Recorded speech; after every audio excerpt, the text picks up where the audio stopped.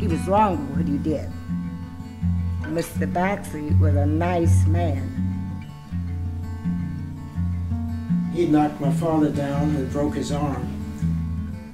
And he grabbed my mother and dragged her toward the mountain and, and raped her. You know, it was a terrible thing to happen to Mamie Baxley. I don't think she ever got over it. Mm. I really don't. When this became known, as I'm sure the word spread quickly, uh, the whole community was in uproar. There was thousands of people, and everybody had a gun.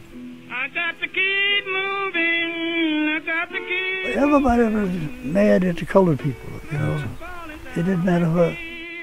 I think that these people went in, like these vigilantes, and you know, I think they threatened them. You know, I think they just invaded their homes. Now we don't we don't know when he was captured, but it was in his hot summertime, and they found him up a tree.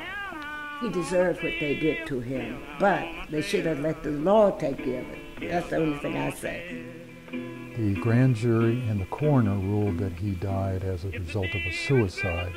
Were, no one was ever charged either with Thompson's lynching or with Thompson, the destruction of Thompson's body.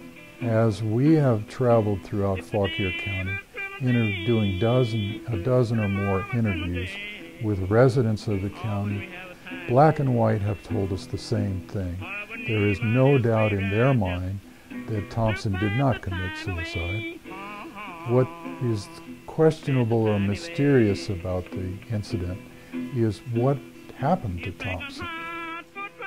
That is the legend of Markham, the legend of Fauquier County.